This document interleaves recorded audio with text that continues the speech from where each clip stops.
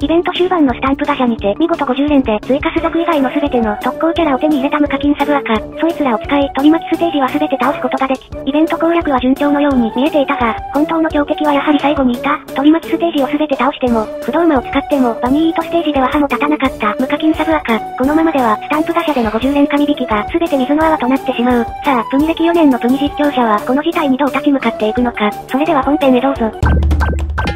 チェトラブどうも、月の子です。さあ私に残された手立ては2つ。1つは破れかぶれステージにてひたすらチケット周回をしまくり、お宝を5つ目まで集め、封印をマックスにするか、もしくは再びスタンプガシャを回し、バニーイートステージでのもう1人の特攻である、追加種族を狙うか、この2択しかありません。ですが、私に残された時間はイベント終了までのあと2日で、今現在のお宝状況は4つ目の必殺 G のお宝の4色目までしか落ちていないので、今のペースではイベ終了までの封印マックスが間に合わないことは明白。かといって、追加種族を狙うためだけにスタンプガシャを回そうにも、できればこれ以上ワイプを使うのは避けたいところではあります。というわけで、私はそんな危険なリスクは犯さずに、ただいま現在見てもらってもわかる通り、もうひたすら裏ステージ1の5の破れかぶれステージにてチケット周回をしております。前回の動画で打者にてゲットできた秋のテラスを使えば、このような感じでフィーバーに入らずにこのステージを周回できるため、とりあえずはもう死の後の言わずに、ワンチャンにかけてチケットを周回してお宝を5つ目まで集め、バニーイートの封印マックスを目指して戦っていきたいと思います。それからしばらくが経ち、必殺 G のお宝の5色目以降が一向に落ちないことを悟り、ここで初めて横取りに手を出しに行く無課金サブアカ、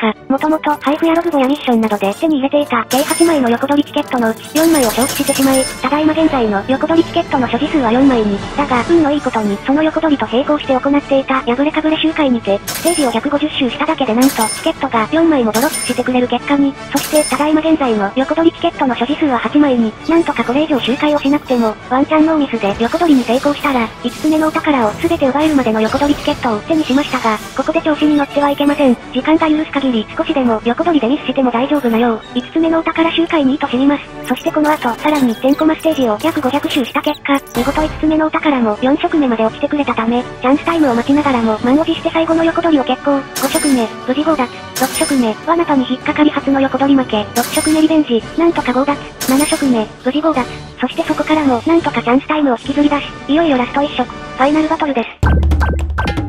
さあやっていきましょう。最後のお宝は赤色のお宝というわけで、無難に勇ましゾネパで挑んでいきます。相手のパーティーが罠と出ない限り、チャンスタイムも来ているため、なんとか勝てることでしょう。なんて言ってる間に、センターがニョロロンの方を発見。この方にしましょう行ってきます。これはもう、皆さんも経験済みの横取りあるあるかもしれませんが、ラスト一色のお宝になった瞬間に強い方としかマッチングしなくなり、そこでうずうずしている間にチャンスタイムを逃したり、他の色を奪われたりする事件が多発しているため、ラスト一色になったからといって、ここで油断してはいけません。さあ種族アップは来なかったが、なんとか最後の赤色を奪っていく。さあ果たして全色コンプリートなるか？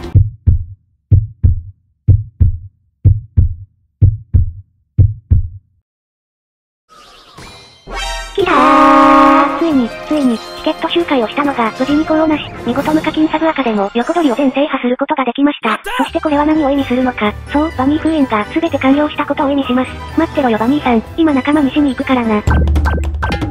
何回かいろんなパーティーで試してみた結果、このパーティーが一番勝てそうな気がしました。それがこちら、龍馬人キャラひたすら詰め込みパーティーです。このステージでは皆さんもご存知の通り、龍馬人キャラ以外のキャラを使うとみんな弱体化されてしまい、HP が下がってしまうため、このような感じで龍馬人キャラのみしか入れておりません。そしてさらに最初の方は頑張って、フィーバーに入ろうとしていましたが、フィーバーに入るまでに通常ダメージでかなり HP が削られてしまうため、今回横取りをして全封印をしたことにより反撃ダメージもかなりマシになったことを活用し、このような感じで、フィーバー外でとりあえず技をワンサコ連発する戦法で戦っております。本当はマリン船長みたいな速射スキルプラス4つのデカプニ生成キャラみたいなキャラを入れるのが一番連発のやりやすい方法なのですが、当然無課金サブアカはまだそんなキャラは持っていないので、オロチや玄武の技を活用し、なんとかこいつらだけで不動馬を連発しています。おそして見事無課金サブアカでも今回のイベントの強敵ボスステージであるバニーイートステージを討伐することができました。トリプルゼータステージを討伐できたのは3ヶ月前のサクチャンステージに引き続きこれで2体目ですね。一度勝てればあとは簡単です。何回もこのステージを周回し、バニーイートがドロップするまでこいつを倒し続けましょう。それではあとは早送り。